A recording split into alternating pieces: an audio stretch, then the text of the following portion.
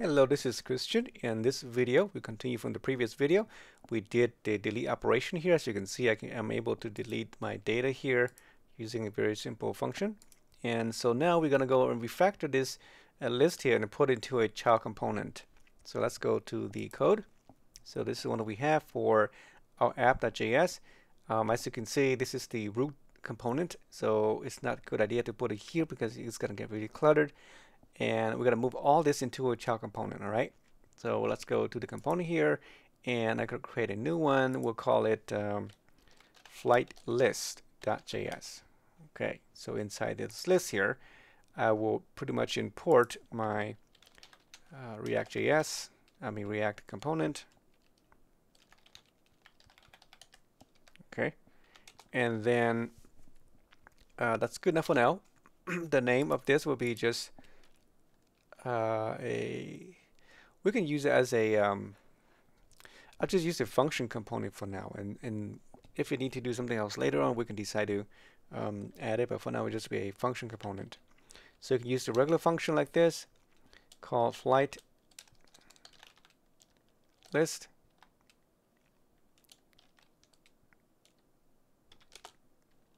Right. Or you can use the ES6 using the um, variable flight list equals that and they use the arrow function that's fine too either way okay? Well since I already do here I'll just leave it like this. And then now we need to add in here the props. We'll be receiving that from the parent. And then here we just have a return statement return everything to the uh, parent or to the to the DOM really. Okay so in here let's go to the app.js I'm going to remove everything from, let's see, uh, pretty much everything here from, yeah, from line 27. We'll collapse this all the way down to line 83, all right? So I can just do like, I'm not sure if this will let me do it. Oh yeah, it did, okay. So let me cut everything there, the whole thing, and move it to this flight list right in here.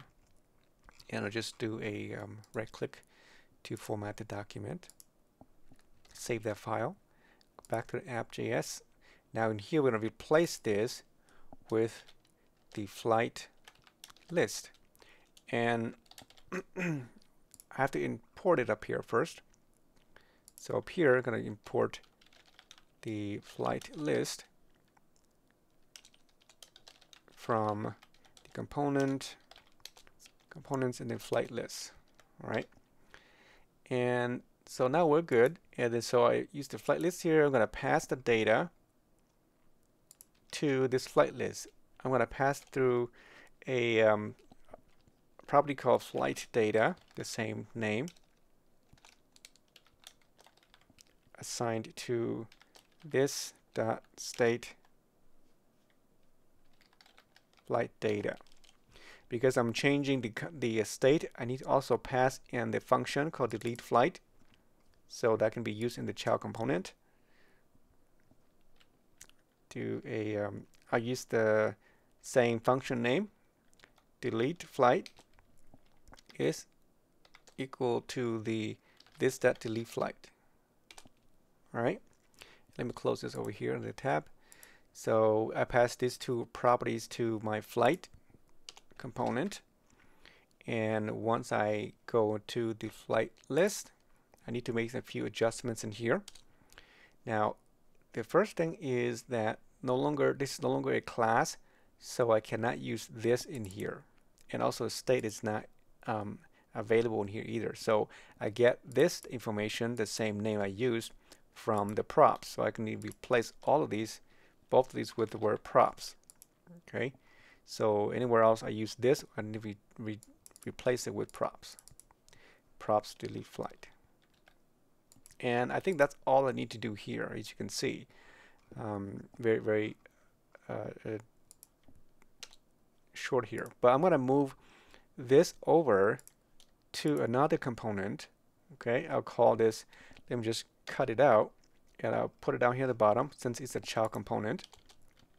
So I'll call it um, uh, before I forget we should, we should export this out first. Export default um, flight list So right above here, I have the child component. I say let um, table head, I guess something like that. I'm gonna and then return. Uh, no, not like this. Return uh, this. Okay, this is the table head. Right click document format. So I did not pass any data to it, so just good as is. And then go back to where I cut that out, right in here, and replace it with table head. Right.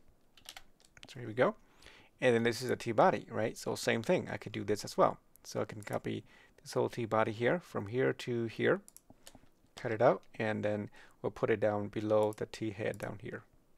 So let t table body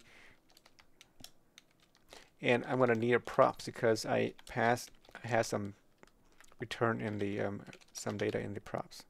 So return this whole thing here and just again right click format.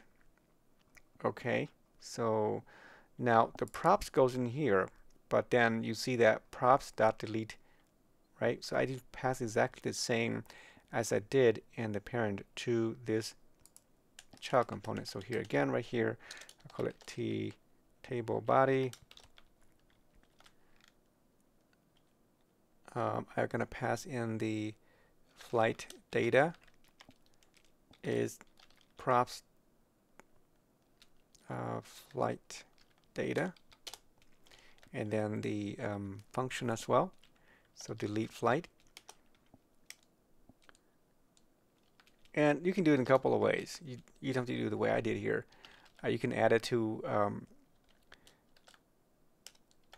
a single object and then pass it that way as a one single object you know what I mean you can recreate this whole thing, put it into an object first, and, and then you patch just one single object down here.